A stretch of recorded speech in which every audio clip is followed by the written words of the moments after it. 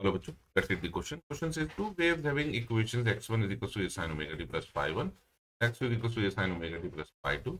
If in the resultant wave the frequency and amplitude remains equal to amplitude of superimposing waves, then phase difference between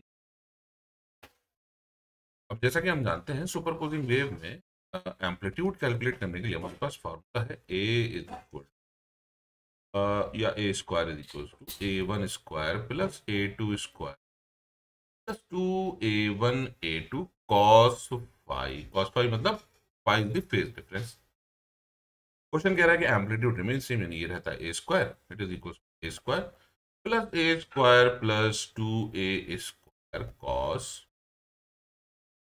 यानी solve करने पर हमें मिलेगा cos five is equal to तो ये A square है plus two A square तो ये बचेगा माइनस वन बाई टू यानी फाइव की वैल्यू हो जाएगी 120 डिग्री, या फिर हम बोल सकते हैं it is equal to two pi by three.